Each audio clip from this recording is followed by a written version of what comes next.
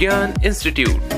ज्ञान इंस्टीट्यूट के आज के इस लेक्चर में आप सबका स्वागत है। जैसा कि आप जानते हैं कि हर बार हम लेकर आते हैं आपके लिए कुछ खास। तो आइए शुरू करते हैं आज का टॉपिक। मैं शैलेंज जैन आपके अपने ज्ञान इंस्टीट्यूट के YouTube चैनल पर आपका स्वागत करता हूँ। तो घड़ी के हम कई लेक्चर्स देख चुके हैं पार्ट में part one part two part three ऐसे कई लेक्चर देख चुके हैं। तो आज नया लेक्चर घड़ी में नेक्स्ट टाइप से अपन पढ़ते हैं। इस टाइप में आपको क्वेश्चन सॉल्व करना है किस प्रकार के इस प्रकार के। आपके सामने ये क्वेश्चन दिया गया है। क्या है क्वेश्चन? एक घड़ी क्रमशः एक बजे एक बार, दो बजे दो बार, अर्थात जितना समय होता है, उतनी घड़ी भी उतनी बार बजती है। तो पाँच घंटे में घड़ी कितनी बार बजेगी? मतलब इस प्रकार के क्वेश्चन बजने, घंटी बजने घड़ी बजने वाले पे आते हैं। तो ऐसे क्वेश्चन तुरंत देखते हैं। एक घड़ी एक बजे एक बार, दो बजे दो बार, तीन बजे तीन बार तो पाँच घंटे में पाँच बार और पाँच वो आपका आंसर पहला ही ऑप्शन रहता। और बच्चे टिक कर आते बच्चे, उन्हें पता है वो एग्जामिनर है, आपके दिमाग से खेल रहे और हमेशा पहला ऑप्शन वही देते जो ज़्यादातर लोग सोचते और वो आंसर हमेशा गलत होता है। क्वेश्चन को ध्यान से पढ़े। एक बजे एक बार, एक बजे एक बार, और दो बजे, दो बार, लेकिन पूछ क्या रहा है? पाँच घंटे में। तक कुल पाँच घंटे में कितनी बार बजी होंगी? ठीक है? तो ये थोड़ा सा सोचो। एक घंटे में एक बार, दो घंटे में दो बार, तीन घंटे में तीन बार, तीन बजे तीन बार, चार घंटे चार बजे चार बार, पाँच बजे पाँच बार। तो पाँच घंटे में कुल कितनी बार बजी होंगी? तो अपन को क्या करना है? टोटल करना है प्लस करना है। ऐसे क्वेश्चन आए तो आपको क्या करना है? एक एक बजे, एक बार, दो बजे, दो बार, तीन बजे, तीन बार, चार बजे, चार बार, और पाँच बजे, पाँच बार। तो कुल पाँच घंटे में कितनी बार बजी होंगी? तो टोटल कर दो इनका। इनका योगफल करना पड़ेगा आपको। तो योगफल कर दो दो और एक, तीन तीन तीन, छह, चार, दस और पाँच। पंद्रह। तो इसका राइट आंसर क्या हो गया? पंद्रह हो गया। ना कि आपका आंसर पाँच नहीं है भैया। ध्यान रखना, जल्द ही नहीं पढ़ना, अपन तर्क शक्ति पढ़ रहे हैं, जो तर्क पर आधारित हो। ठीक है? तो याद रखना है पंद्रह। अब सर इसको और जल्दी करना सिखाइए। सर, ये तो बेसिक तरीका हो गया। ये तो पाँच घंटे का हो गया। ऐसे पच्चीस घंटे हो, चौबीस घंटे हो ठीक है, दस घंटे हो। सर, ऐसे क्वेश्चन हो तो कैसे करेंगे सर, हम प्लस नहीं करना चाहते तो उसके लिए एक और ट्रिक ट्रिक है आपकी। वो ट्रिक क्या है? सीधा n n plus one upon two ये यूज़ कर। N n plus one upon two ये ध्यान रखना है। ये ट्रिक है। एन मतलब कितने घंटे? जितने घंटे पूछे हैं, उन घंटे में आप n n plus one upon two मतलब आंसर कैसे निकलेगा? एन का मान यहाँ कितना है? पाँच पाँच में एक जोड़ दो छ पाँच एक छ बटे दो दो तिहाई छ पाँच तिया पंद्रह। तुरंत निकल आया। कैलकुलेशन जब स्ट्रांग हो जाती है तो अपने आप जल्दी निकल आएगा ठीक है? सर, फिर फॉर्मूला बता दिया। तो फॉर्मूला नहीं सीखना है तो ऐसे भी याद रख सकते जो संख्या दी है, उसमें एक जोड़ दो। दो का भाग दे। ठीक है? तो आप अपने हिसाब से उसको कर सकते हैं। ठीक है? तो इसको कर लिया। अब आपसे ही क्वेश्चन है, अगर इसी में हम घुमा दे, बारह घंटे कर दें। यहाँ पर पाँच घंटे की जगह हम कितना घंटे कर दें? बारह घंटे कर दें। तो क्या आएगा आंसर सर, हमें फॉर्मूला मालूम चल गया है तो आप आराम से कर सकते हैं। इनका मान कितना है? बारह। बारह में एक जोड़ दो। कितने हो गए? तेरह बटे कितना कर दो? दो। दो का भाग बारह में दे दो? दो छक्के बारह। ठीक है? अब तेरह का छह में गुणा कर दो। तेरह पन्ना पैंसठ, तेईस अठहत्तर। ठीक है? तो आपकी कितनी बार बजेगी? अठहत्तर बार बजेगी। ठीक है? ऐसे बारह घंटे, छह घंटे, सात घंटे, ऐसे आप निकाल सकते हैं। लेकिन अगर हमने कह दिया, अब आपसे क्वेश्चन दिया, अब आपसे क्वेश्चन दे दिया कि 16 घंटे में कितनी बार बजेगी? 16 घंटे में कितनी बार बजेगी? तो अब बच्चे क्या राइट आंसर लगा के आएँगे? सर ने ट्रिक बताई 16 एक जोड़ दो सत्रह बटे दो। ठीक है? अब दो नाम दो अट्ठे सोलह। ठीक है? दो अट्ठे सोलह। और सत्रह अट्ठे आप, आपको नहीं आता आप गुणा कर लो। आठ सत्ते छप्पन हासिल के पाँच आठ एकम आठ और पाँच तेरह। ठीक है? 136 ये आंसर लगा दो जो कि क्या है? आपका गलत है। क्यों गलत है? कि एन का मान जो होगा, वो 12 होगा अधिकतम मान। ठीक है? क्यों है गलत? अधिकतम मान एन का 12 होता है। क्योंकि आप घड़ी देखते होंगे, अपनी घड़ी देखना। घड़ी में अधिकतम अंक कितने लिखे रहते? बारह। दोपहर के दो बजते हैं तो बारह के बाद अपने आप एक और दो आ जाता है। घड़ी देखना।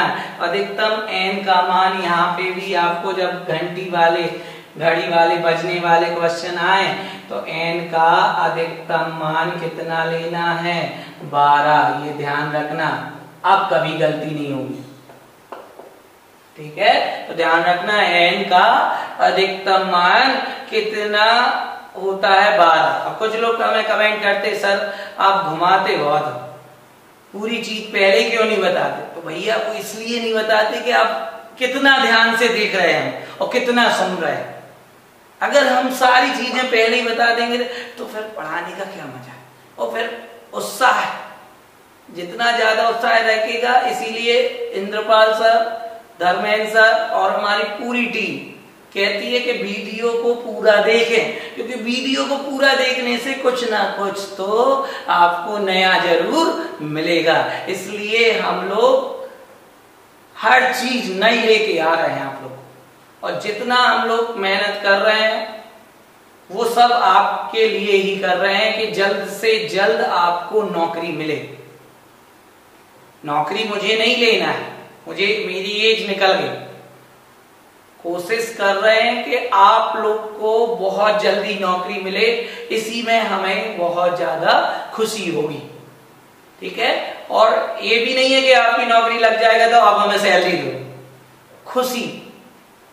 ठीक है? साक्षरता मिशन, साक्षर करना हमारा उद्देश्य है और हर शिक्षक का यही उद्देश्य होता है कि उसका स्टूडेंट बहुत तरक्की करे और ऊंचाइयों को प्राप्त करे। तो ध्यान रखना यहाँ इस टाइप के क्वेश्चन में अब कोई हम नहीं घुमाएँगे, बस यही है आपकी ट्रिक कि n n plus one upon two और एन का अधिकतम मान बारह लेना है। लेकिन किस टाइप के पैटर्न में आपकी जब बजने वाले क्वेश्चन आए घड़ी में? ठीक है?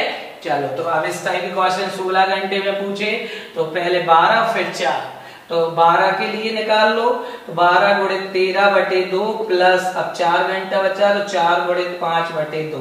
ऐसे सॉल्व करना है।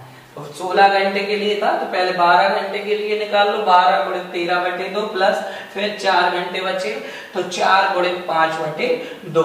अब सॉल्व कर दो दो छक्के बारह, तेरह पन्ना पैंसठ, तेईस अठहत्तर अठहत्तर, दो दूनी चार, पाँच दूनी कितने हो गए? दस, अठहत्तर प्लस दस कितना हो गया? अठासी। तो कुल कितनी बार बजेंगी? आपकी अठासी बार बजेंगी। ठीक है? समझ में आ गया होगा? 12 अधिकतम होता है। ठीक है? 16 घंटे में पूछ लिया।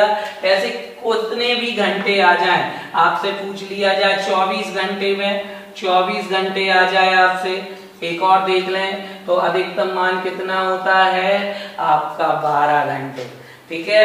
एक बारह और एक बारह तो बारह गुड़ित तेरह बटे दो प्लस बारह गुड़ित तेरह बटे दो दो छक्के, बारह, तेरह छंग अठहत्तर, दो छक्के, बारह तेईस छंग अठहत्तर अठहत्तर और अठहत्तर जोड़ दो आप अठहत्तर और अठहत्तर जोड़ दोगे, आठ आठ, सोलह, सात सात, चौदह चौदह और एक पंद्रह तो टोटल कितनी बार बजेंगी?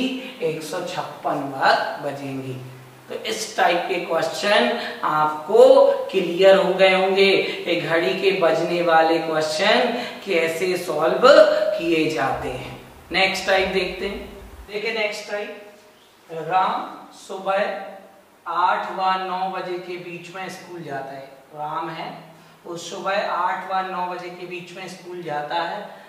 तथा पाँच व छह बजे के बीच में स्कूल से वापस आता है। तो आकर देखता है कि घड़ी की दोनों सुइयों ने अपना स्थान आपस में परिवर्तित कर लिया है। तो राम किस समय स्कूल गया था? राम किस समय स्कूल गया था? तो ये पैटर्न किस टाइप का हो गया? जब सुइयाँ आपस में क्या हो जाए? परिवर्तित हो जाए एक्सचेंज हो जाती है। तो उनको कैसे सॉल्व करते हैं। तो राम के जाने का समय पूछ रहा है वो हमसे। तो जाने का समय है तो टाइम जो निकलेगा वो आठ और नौ बजे के बीच में ही निकलेगा। क्योंकि वो आठ और नौ के बीच, आठ और नौ के बीच में गया होगा ना स्कूल क्वेश्चन नहीं कह दिया मतलब समय तो फिक्स हो गया कि आठ बजकर कुछ मिनट निकलनी है। इतना आप तो सोच ही सकते हैं कि आठ और नौ बजे वो जा रहा है। तो जाने का समय क्या हो गया? आठ और नौ। ठीक है? एक जाने का समय लिख लेते हो, एक आने का समय लिख लेते हो। तो जा कब रहा है? आठ और नौ। तो मैं इतना क्लियर हो गया कि आठ और नौ के बीच का ही समय निकलेगा। तो जा रहा आठ और नौ। लौट कब रहा है? पाँच व छह बजे के बीच में। पाँच और छह के बीच में।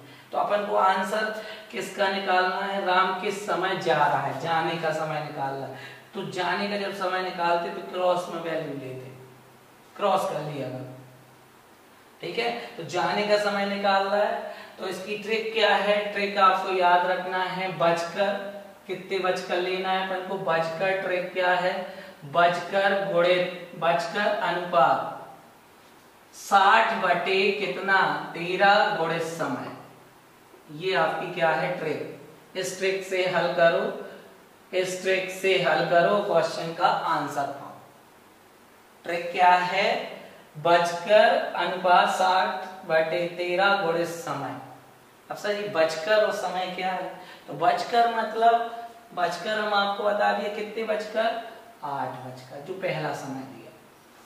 साठ बटे तेरह ले लोगे, साठ बटे तेरह। अब सर, समय क्या लेना है? तो बस यही चीज़ याद रखना, जो समय लेना है तो आपको किस समय का स्कूल गया था? मतलब जाने का समय? तो जाने का समय आठ बजे था, आठ और नौ के बीच में। तो इसके क्रॉस में क्या आ रही है?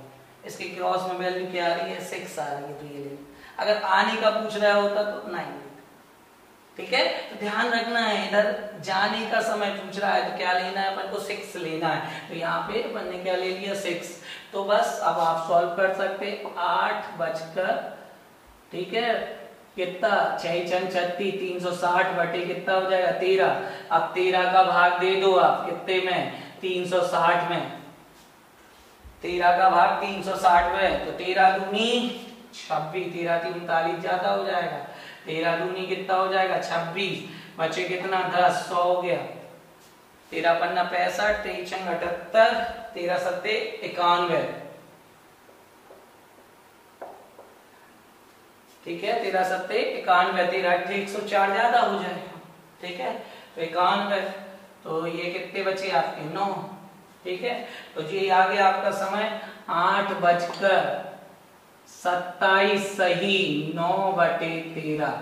ठीक है? अगर नीचे दिखाई नहीं दे रहा है आप लोगों को तो हम यहाँ लिख दे रहे हैं आंसर। आठ बजकर सत्ताईस सही, नौ बटे तेरह मिनट पर जाने का समय होगा। किसका? राम का। तो ट्रिक आ गई होगी आपको समझ में? नहीं आई होगी तो एक और क्वेश्चन इसी पैटर्न का देख ले रहे हैं हम। ट्रिक तो क्लियर है। ट्रिक क्या है? बचकर मतलब पहले वाला समय और साठ बटे तेरह गुड़े समय। समय मतलब आपको जाने का समय पूछ रहा है। तो आठ के क्रॉस में क्या लिखा है? छ तो इसलिए यहाँ पे छ आठ बजकर तीन सौ साठ बटे तेरह, तीन सौ साठ बटे तेरह को सॉल्व कर दिया तो आठ बजकर सत्ताईस सही, नौ बटे तेरह मिनट आपका राइट आंसर दूसरा क्वेश्चन देखते हैं दूसरा क्वेश्चन उसी पैटर्न था कि सोनम प्रातः का 11 से 12 बजे बाज़ार गई जाने का समय क्या हो गया? 11 से 12 मतलब जो आंसर 11 से 12 बजे बाज़ार गई ठीक है? ये बाज़ार 11 से 12 तो जाने का समय 11 और 12 लिख लिए। ठीक है? तथा दोपहर दो से तीन के बीच वापस लौटी तो लौटने आने का समय क्या हो गया? दो से तीन। ठीक है? 11 से 12 बजे बाज़ार गई, दो से तीन के बीच वापस लौटी तो उसने देखा कि घड़े की दोनों सुइया की स्थिति परिवर्तित हो गई तो भाई कितने बजे वापस लौटी? लौटी मतलब आने का समय ज्ञात करना है। आने का समय, ठीक है? तो आने का समय ज्ञात करना है आपको। तो आने का समय अगर ज्ञात करना है मतलब दो और तीन के बीच का समय निकलेगा। तो दो और तीन के बीच में तो दो के क्रॉस में अपन ने लिख लिया। बारह का गुणा करना है उस ट्रिक में। तो ट्रिक क्या थी अपनी? बचकर ठीक है? साठ बटे कितना? तेरह गुणित कितना हो जाएगा? समय। ठीक है? तो बचकर कितने? दो बचकर। ठीक है? साठ बटे तेरह। साठ बटे तेरह। साठ बटे तेरह गुणित समय कितना है? तो समय अपन कितना लेना है? बारह। तो दो बारह पंचे साठ बाई बहत्तर। सात सौ बीस बटे तेरह। आप सात तेरह का भाग दे दो आप कितने में? सात सौ बीस में। तेरह का भाग दे दो आप कितने में? सात सौ बीस में। तो तेरह पन्ना पैंसठ। तेईस अठहत्तर ज़्यादा हो जाएगा तो तेरह पन्ना पैंसठ। तो ये कितना आ गया आपका सात? और सात। तेरह पन्ना पैंसठ। पैंसठ तेरह पन्ना पैंसठ, अब आपका कितना बचा? पाँच। तो आपका आ गया आंसर, दो बजकर मतलब दो बजकर कितने सही? पचपन सही, पाँच बटे तेरह मिनट पर आएगी वो।